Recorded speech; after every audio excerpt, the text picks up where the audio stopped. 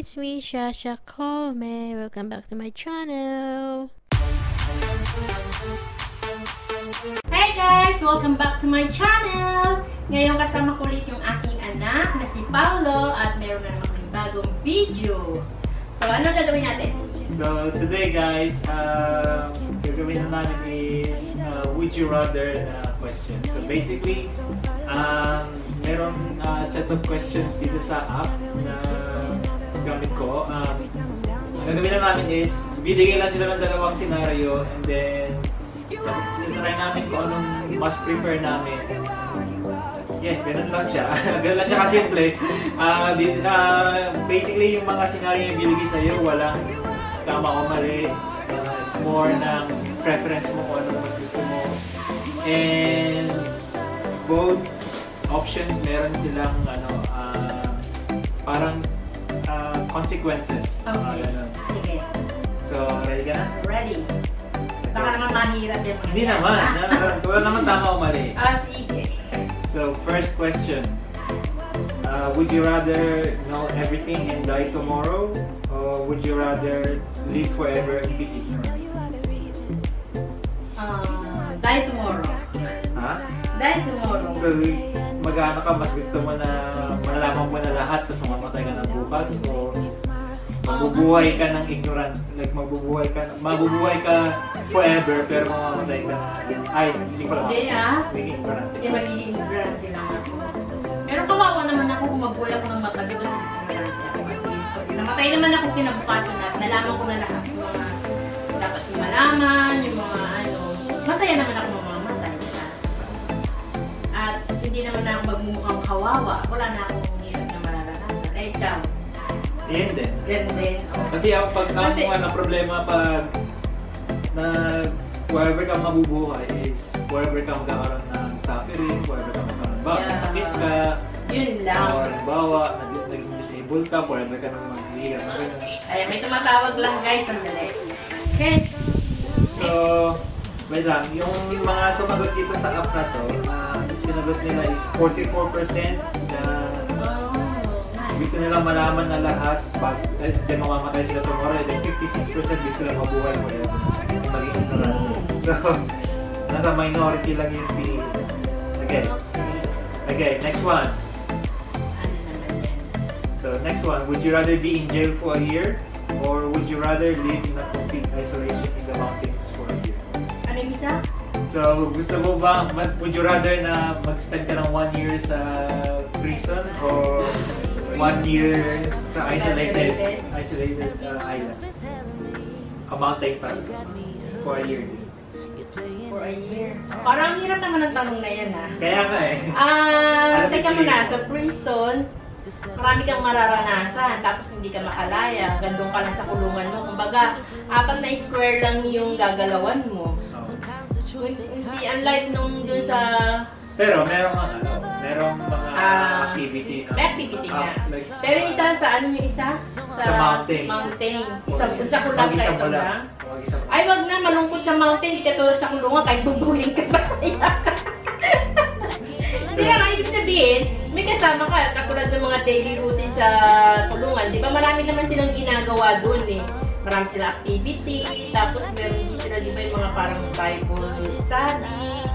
Nga lang, kung minsan, Pero ano lang yun, ah, ilang Ah. oras lang per day. ilang oras lang per day. Oo. Ah, siguro, pili ko na lang yung sa prison. Sa prison. Oo, at least kahit pa paano, meron akong matututunan doon. Hindi katulad dun sa, sa ano ko, sa desert ba yun? Sa mountain. Ah, mountain. Nag-iisa ako, anong gagawin ko doon? Mamitas lagi ng, ano, kung, kung wala pagkas o pagkain. Ikaw, ano, mas gusto Ako, mas pipiliin ko yung sa mountain. Bakit?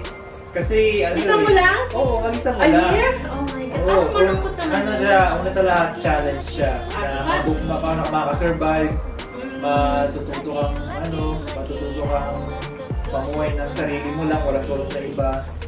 And, Paano kung nagkasakit ka? Isa mo lang yun ang risk mo, yun ang risk mo sa, ano. Pero, yun nga, na, ano, gagawa, kumbaga, isipin mo, yung mga nasinaw ng tao, nag-upis lang din naman sila ng ano eh. Sa ng ganun, di ba? bagay. Sa nature lang sila. Yung, yung my experience ko yung ano. Kasi sa sa prison ka naman, kung sa prison ka na ano, ng isang taon, hindi mo rin alam, alam. Kasi marami rin namang gulo sa prison eh. Like minsan, di ba, may uh, O pero di ba pagka mabait ka na sa prison, doon ka na ilalagay sa ano? Hindi, pagbabait ka na. Ano Minsan, ba tawag doon? Yung pagka napasa mo na yung isang ano nila na ililipat ka, pa, ano, parol? Parol ba yun? Yung hindi parang pa yun, ano eh. Alam ko yung parang yung kapag Aray, ano, ibibigyan ka ng, kumbaga ikakat down nila yung ano, mga sentence mo. Ano ba? Ano na lang, 2 years. So, tingnan natin kung ilan yung ano. Oh, okay. So, ay 32, sagot. so 32% ng bumoto Ah! sa jail, sa jail sila. So, 68% sa mountain. Oh, ang dami sa mountain ha. Okay, next one. Okay. Okay. So, would you rather have paparazzi follow you around or would you rather reveal a different secret about yourself in a weekly newspaper column? Ayoko ng paparazzi. Sa. Ano yung a week? Every week mag-aan ka sa dyaryo, mag Dyaryo, reveal ka ng secret every week. Tapos doon sa paparazzi, ano lang. Di paparazzi lagi na mag Susundan, susundan ka lang. susundan lang Lagi ako. may Tapos naka- lagi may nakaano na camera. Oo. Sira ang mata ko doon. So, Parang, tika muna, parang parehas lang kasi pagka sa paparazzi, di ba? Yung may sunod na sunod sa'yo, kada bawat kilos mo. Oo. May sumusunod ka na sa'yo kung hindi ka mo buti. Tsaka flash ng flash sa'yo lagi yung mga camera. Sa diary sa ano naman, sa dyaryo kailangan sa once a diary, week. kailangan once a week, meron kang ilang secret ang i-reveal. Isa lang, isa Isa lang. Oh, Ah, pwede na yun, pero malaya ako makakagalaw. Walang susunod Oo. sa akin. Oo. Ah, pwede na siguro yun. Pero kung sa paparazzi naman, wala silang aalamin ng sikreto mo, di ba? Kung di kukuhanan ka lang ng picture. Oo. So, Hindi, baka meron din silang makuha sa'yo kapag may ano ka. ah, sabagay kasi pagka Susundan. nakuha ng ka ng picture, di ba? Ginagawa ka na ng kwento sa Oo, newspaper. kung ano-ano pang Kung ano-ano pa. Parang nakakasira din yun ng ano, di ba? So, doon ka na lang sa ano. Nakakasira din ng image mo pagka yung ginawan ka ng photo tapos di ba iba na yung sinasabi nila. Hindi katulad nung sa newspaper ka, magre-reveal ka lang ng isang quest, ng isang secret mo, pwede na isa akin sa. So, 52 secrets in a year ang i-review ko. Okay lang, kasi 100 secret na oh, sige. Ako Ito yun. lang naman pala eh. Ako yung I would rather have yung may paparazzi na magpa-follow sa akin. Bakit? Kasi ano eh, ah, una sa lahat, pwede mo silang ano, ah, pw- bawa nasa hotel ka na, meron ka naman ng ano, may mga bodyguard ka na, gano'n. Pag nasa loob ka na ng room mo, pwede kang mag-hire ng double mo, kunyari, Ah. gano'n. Tapos i-misdirect mo sila. Okay. So, hindi, hindi all the time na mag kayo like, di ba minsan may mga ganun na mga artista nag-go, nagkano silang double para ma-misdirect nila yung mga paparazzi para hindi sila follow ng follow sa Sa bagay. Tsaka meron ka naman ano, may mga bodyguard ka naman eh. Kasi itong secret na to, yung ang ayaw ko lang dito is masyado nilang yung buhay mo. Oo. Pinakainanay? Inaalungkat nila masyado yung buhay mo. Baga wala ka ng privacy sa ano mo sa buhay mo. Ah, Lahat nila. Kayo guys, ano gusto niyo? So, comment yun guys Comment kung ano yun yung sa- mga ano, kung ano yung mga gusto, kung anong prefer Ah, nyo. Prepared niyo sa mga tanong na kanina. Okay. So, So, 60% ng mga bumoto Ano is ba yan? Mas gusto nila yung may paparazzi na lang na magsusunod-sunod sa kanila. So, like, halos 100,000 na yung nag pumili. Would you rather work from 9 a.m. to 5 p.m. or would you rather work from 9 p.m. to 5 a.m. Like for the rest of your life? Ang hirap na na. 9 to 5 a.m. Or- Or 5 to 9. Hindi, or 9 to 5 p.m. Ay, 9 No. p.m. to 5 a.m. Sorry, sorry. 9 p.m. to 5 a.m. Kumbaga, basically, night shift or morning shift ka lang. Ah. Ang gusto ko yung morning shift yan. Morning shift. Yung 9 to 5 a.m. Uh, 9 a.m. to 5 p.m. Oo, okay na yun. Kasi kung minsan, di ba yung paggising mo sa umaga, parang mas alive na alive ka na na pwede mo na i-start yung day mo na talagang naka, parang nakaplano na yung sa isip mo kung ano yung mga gagawin mo, ganun. Unlike nung pagka yung sa night shift ka, tapos yung, kumbaga, nagising ka na ng maaga, tapos hihintay mo pa yung oras mo papasok ka ng gabi. Tapos hindi ka naman din makakatulog, tapos ang dami-dami mo nang ginagawa. Parang pagod na yung katawan mo, tapos iisipin mo, eh papasok pa nga pala ako mamaya, kailangan matulog na ako. Eh, ito yung body mo, ayaw naman yung matulog. So, parang pupunta ka ng trabaho na hindi ka naman na complete yung, parang hindi na complete yung sleep mo, ganun. Hindi ka tulad nung natulog ka na magdamag, tapos gigising ka na lang, parang automatic na rin yung, ano mo na, gumising ka na maga. So, lahat yun, magagawa mo na the whole day hanggang sa makawit ka na ng trabaho mo. So, ganun din.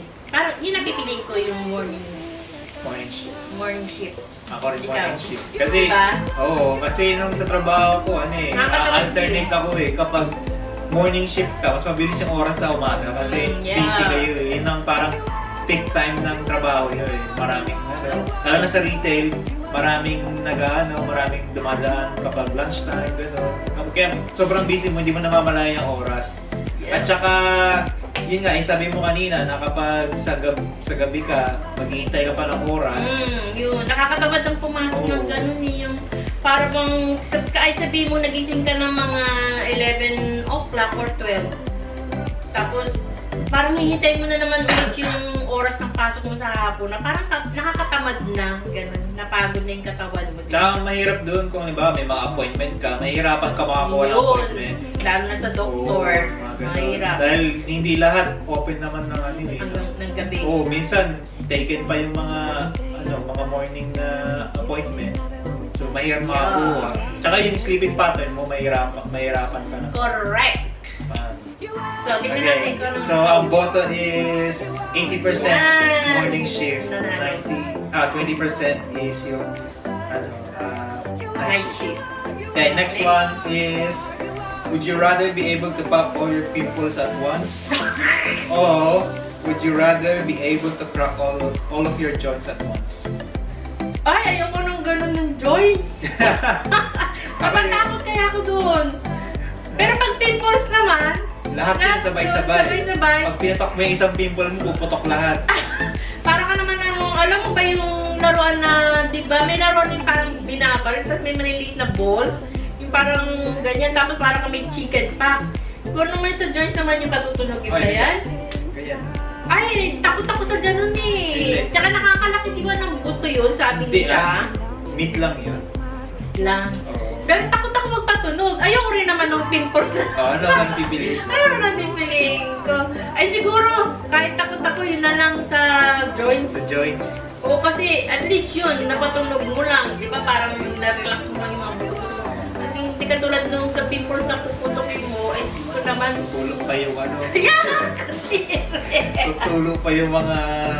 Ayoko nang ganun, ayoko sa, ay, yung mukha pa naman, hindi mo yan matatakpan. Lagi ka nakaharap sa tao, talaga nakatingin sa mukha mo, kaya yan sa mukha ang mahirap. Ayoko, sige, doon na lang sa joints. Ako sa joints din. Kasi mahilig akong patunog eh, lalo na yung leg ko. Pag Sa isip ko na lang, kahit masakit. Yung leg, masarap kasi magpatunog kapag, lalo na pag pagod na pagod ka. Tapos ang lakas ng tunog. okay, ang result is, oh, surprisingly, yung pim, mas prefer na mga tao yung pimples over yung joints. So, Oh! mas gugustuhin pa Ang nilang putokin yung pimples nila kaysa magpatunog. Okay, next one, ito. Uh, would you rather have your elbow elbow joints facing the opposite direction? Or would you rather have your knees facing backwards? So basically, Parang- ito, ito- baliktad. Dito siya, nakapaganan ka, nakaganyan ka. Ang hirap naman, pati tuhod mo, naka, Hindi, o kaya yung sa tuhod. o kaya yung tuhod, tupiin mo tong tuhod mo, pabaliktad. Parang ang hirap. tutupin ka, papaganon ka, imbis na papaganon. Mas mahirap yun sa tuhod, di ba? Tapos pag naglakad ka, parang ano, patras pa sa loob. Oo. Hindi ka tulad nung dito, ito ang nandito. At least, ito, di ba pwede kang umabot na may kanya, maiikot-ikot mo siya. Ganyan. Tapos yung kung tuhod mo naman eh, tamang posisyon, makakalakad ka ng maayos, di ba? Kung yung tuhod mo naman ang nakaikot, tapos ito naman ang diretso, mahirap lumakad, tsaka ang hirap naman kada upo. Paano ka upo sa toilet? Baliktad din. sa ano na lang ako, sa, elbow. Sa elbow ka. Yeah, elbow ako. Di ba? Kasi maraming... Ay, hindi. Pwede ka pa rin no, ano. Mas marami kasing ginagawa ang kamay kaysa sa paa. Yung paa, may sa tuhod kasi ginagamit lang natin pag upo ka, lalakad. Pero pagka meron ba, may ginagawa ka sa kusina, mas eto yung laging gumagalaw kahit nakatayo ka lang ng matagal, di ba? Ito maaabot mo na yan kahit nakaikot, pag ganun. Di ba? Magagawa. Ako din, sa elbow. Elbow na lang. So, ang result is 57% pinili Ayan, elbow. elbow. Last na ba guys? So, would you rather skydive or would you rather bungee jump? Parang takot ako doon. Kaya ang isa, Mamamatay ako kailangan doon. mamili ka ng isa. Ay, ano yung sky at saka Skydive yung- o bungee jump? Ay, ban ano bungee jump? Bungee jump yung may, may tali May ka sa taas, tapos takalon ka sa bridge. Parehas din naman din yung nakakatakot, nakakalula. Pipiliin ko yung isa? Skydive o bungee jump? Skydive. Skydive, parang ganun din eh. paano ka naman tatalon dun? Pero mas mataas yun sa mataas. sky, di ba? Mas mataas yun. Parang wala nang katapusan.